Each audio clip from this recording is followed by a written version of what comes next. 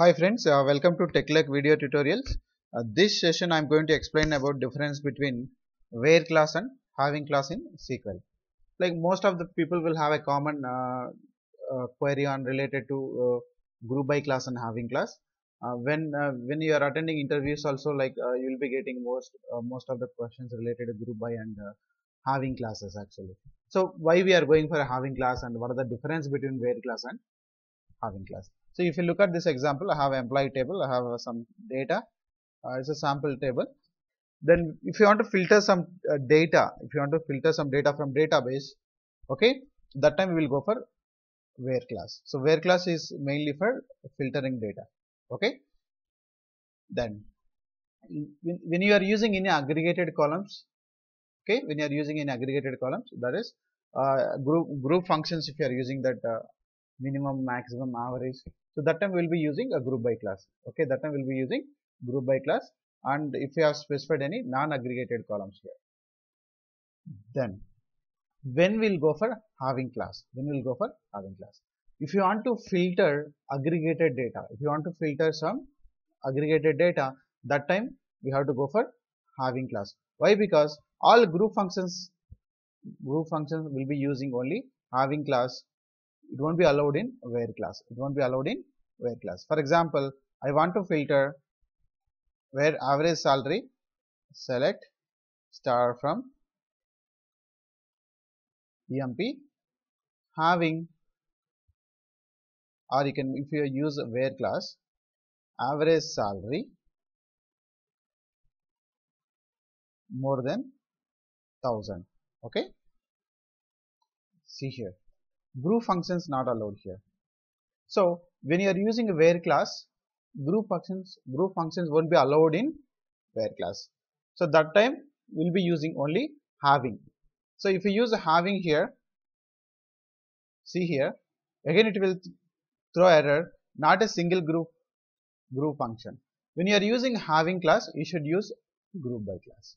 Okay, always the relationship with having is group by. When you are using having you should use group by clause. When you are using having we should use group by clause. Like this. You can see this example. I want to average salary more than 2000 and specific to department wise specific to department wise. You can see here.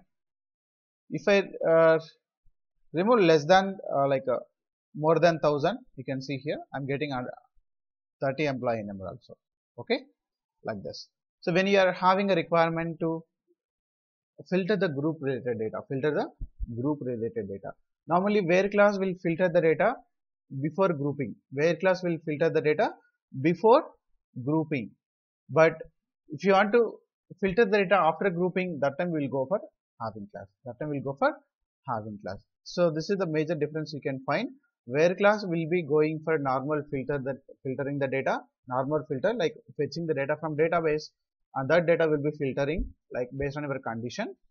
And having clause that filters will be using after fetching then after grouping. There is a two activities uh, will be happening in having clause. So first it will fetch the data then it will do the grouping then after that it will filter the data.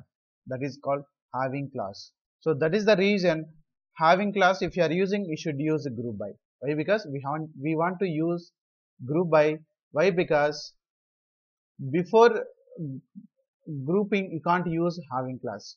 So that having filter will be done after grouping only. The having filter will be done after grouping only. So that is the reason when you are using having clause you should use group by. That's the reason. If you are not using group by filter error that is not a single group group function. Okay?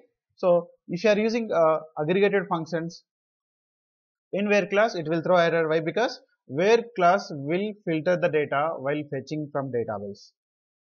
But having clause will filter the data after grouping after grouping. So that is the differences you can find where clause and having clause where clause and having clause. So if you have a requirement to filter the grouping data go for having. If you have a requirement if we don't want to grouping the data directly fetch the data from database and you want to filter the data. So that time you can go for where clause. Okay? So remember that when you are using a having clause you should use a group by. Why? If you want to use a group by means it is a process. Why? Because having can be applied after grouping only. Having can be applied after grouping the data. Okay so that's the reason we have to use a group by clause. That is a grouping the data. Then after grouping it will filter the data. So this is the way we can go for using group by clause having clause and where clause. So thank you for watching my videos. Please subscribe my channel to get more videos and update my channel. Thank you very much